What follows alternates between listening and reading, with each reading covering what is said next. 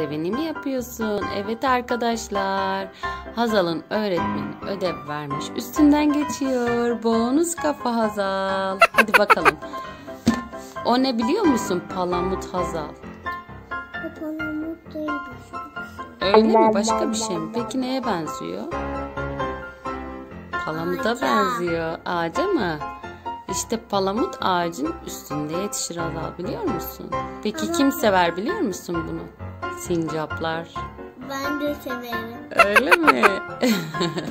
Hadi yap bakalım. Üstünden geç bakalım. Bravo. Çok iyi gidiyorsun Hazal.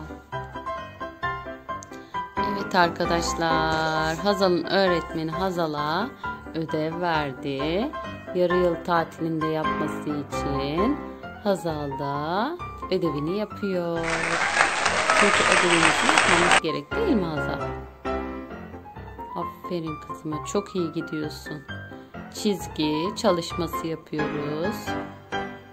Üstünden geçiyor Hazal ve çok başarılı bence. Ben seni tebrik ediyorum Hazal. Çok da güzel üstünden geçiyorsun. Bravo. Harikasın. Aferin kızıma. Bir sürü ödev yaptık. Bu ödevi kaldı. Bu ödevini de bitirince ödevimiz bitiyor. Kızım çalışkan olacak. Ödevlerini yapan çalışkan, akıllı bir kız. Bravo. Başka neresi kaldı? Aşağı taraf değil mi Azam? Aşağı taraf Şu tarafı çizmemişsin bak şuraları. Gördün mü? Hadi orayı da çiz bakalım. Çiz. çizildi burası. Hayır anneciğim çizmemişsin. Ben göremiyorum bak. Düzgün çiz. Evet. indir aşağıya.